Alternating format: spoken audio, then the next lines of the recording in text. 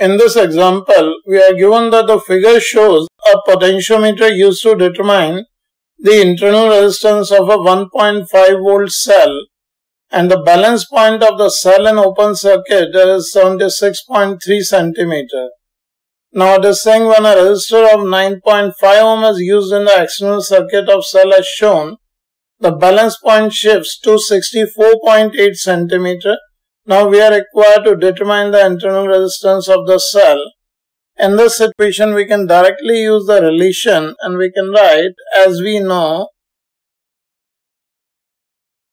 for determination of internal resistance of cell we use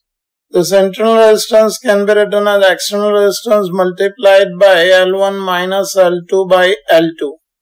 where L1 is the balancing length for the only cell and L2 is the balancing length when the external resistance is connected. Yeah, the values of L1 and L2 are already given to us if we substitute.